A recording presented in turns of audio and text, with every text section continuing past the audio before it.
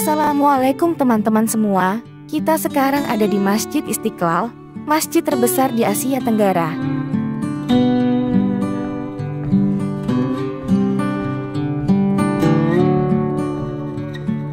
Masjid ini dirancang oleh arsitek beragama Kristen yang bernama Friedrich Silaban.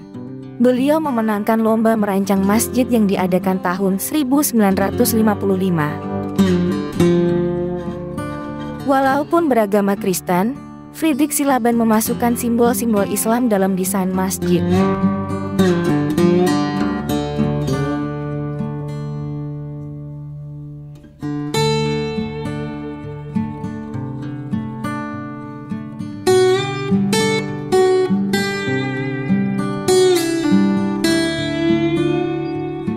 Kubah utama ditopang oleh 12 tiang yang melambangkan 12 Robiul Awal yang dipercaya sebagai tanggal kelahiran Rasulullah.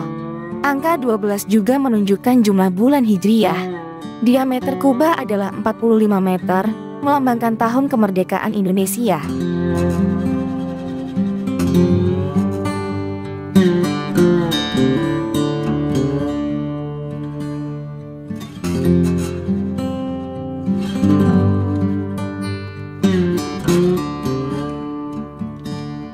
Peletakan batu pertama dilakukan pada tahun 1961.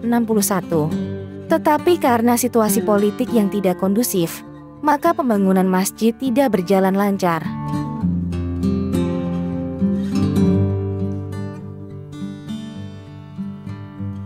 Masjid Istiqlal baru diresmikan oleh Presiden Soeharto pada tahun 1978.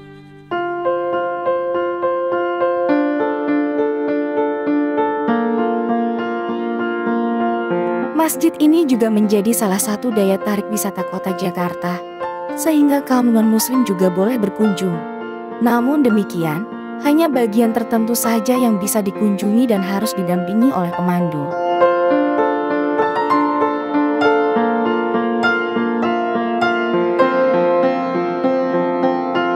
Ini adalah pintu Al-Fatah dilihat dari dalam. Sedangkan ini adalah pintu Al-Fatah dilihat dari depan. Dinamakan pintu Al-Fatah yang artinya adalah pembuka, karena ini merupakan pintu yang pertama kali ditemui saat kita masuk dari jalan katedral.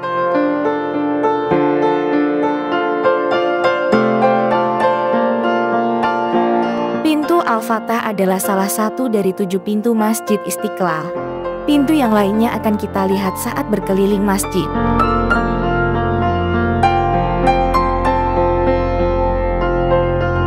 Adalah tempat penitipan barang.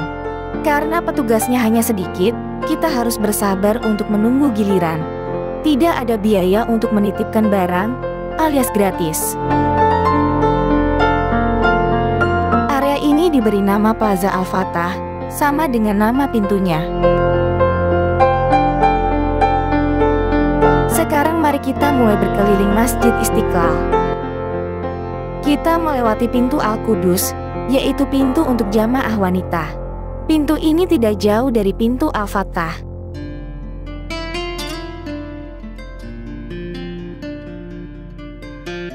Saat ini kita sedang berjalan di bagian utara Masjid Istiqlal.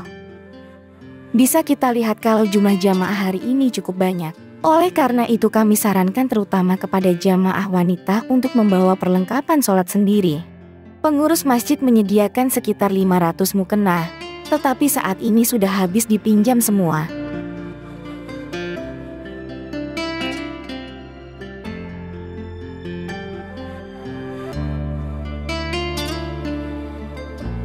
Ini adalah pintu asalam yang terletak di bagian utara. Pintu ini istimewa karena langsung menuju ke baris terdepan.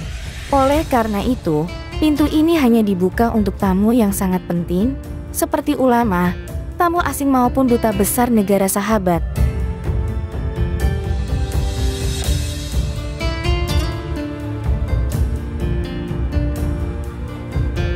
Selain digunakan untuk beribadah, masjid ini juga menjadi kantor berbagai organisasi Islam untuk aktivitas sosial dan juga untuk pendidikan seperti madrasah.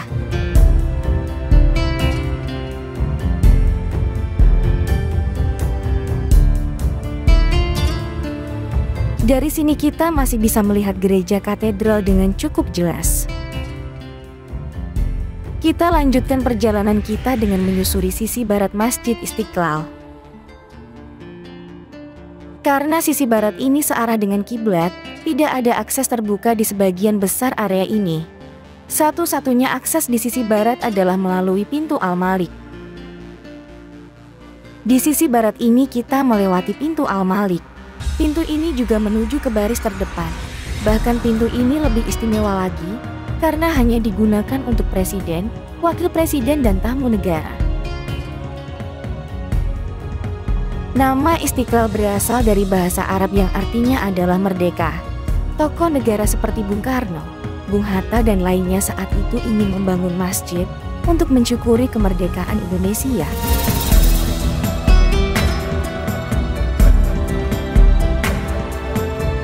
Pintu Aroman ada di sebelah kiri, tapi terlewatkan saat video ini diambil. Pintu Aroman berada di sisi selatan masjid, bersama dengan dua pintu lainnya yaitu pintu Arosak dan pintu Al-Ghofar. Menara di masjid ini hanya ada satu. Hal ini untuk mengingatkan bahwa Tuhan itu Esa. Tinggi menara berlapis marmer adalah 6.666 cm. Jumlahnya mengikuti jumlah kandungan ayat Al-Quran menurut sebagian ulama. Sedangkan mahkota menara terbuat dari kerangka baja setinggi 30 meter, melambangkan jumlah juz dalam Al-Quran.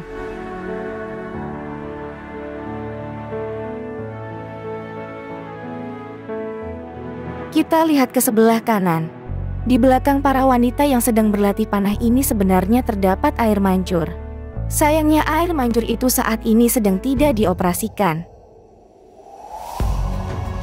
Kita juga melewati pintu Arosak. Melalui pintu ini, ada koridor yang terhubung langsung ke pintu Al-Fatah di sisi sebaliknya. Pintu Arosak ini juga menghadap lurus ke arah Monas, untuk mengingatkan bahwa masjid ini adalah Masjid Nasional Republik Indonesia.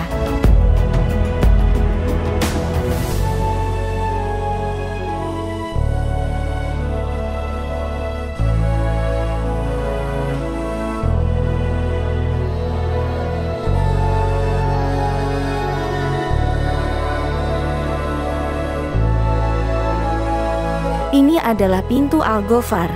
Terletak di ujung selatan masjid dan berada di bawah menara. Merupakan pintu yang terjauh dari mihrab masjid.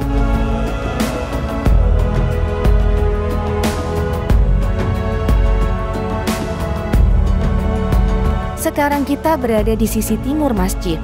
Area ini berbatasan dengan kanal Sungai Ciliwung. Di sisi timur ini tidak ada pintu masuk untuk jamaah masjid.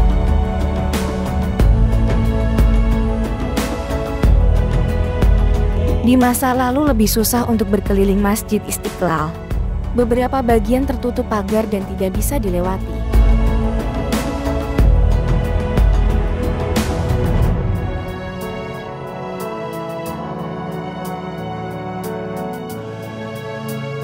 Sebelum kita selesai berkeliling Masjid Istiqlal, jangan lupa untuk subscribe channel kami dan nyalakan loncengnya. Terima kasih.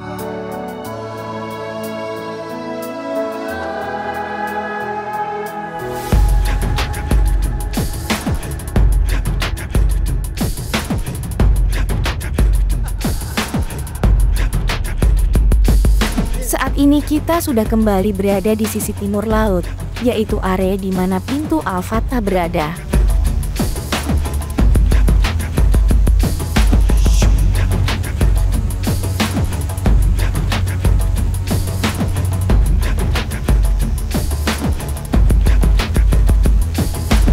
Kita sudah berada di Plaza Al-Fatah, berarti kita sudah selesai mengelilingi Masjid Istiqlal.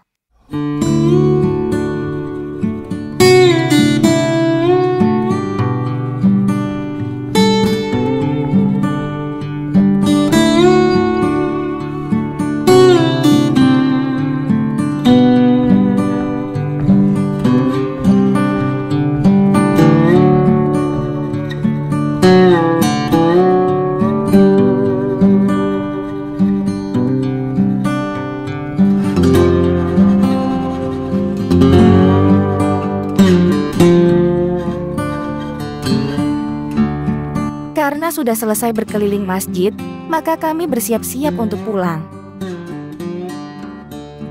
Bangunan kaca di depan adalah terowongan menuju katedral. Sayangnya saat ini terowongan sedang ditutup.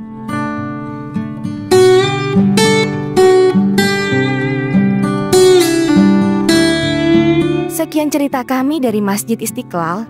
Video ini kami akhiri di sini dulu. Terima kasih sudah menonton. Sampai ketemu di lain kesempatan. Jangan lupa untuk like video ini dan subscribe channel kami. Terima kasih.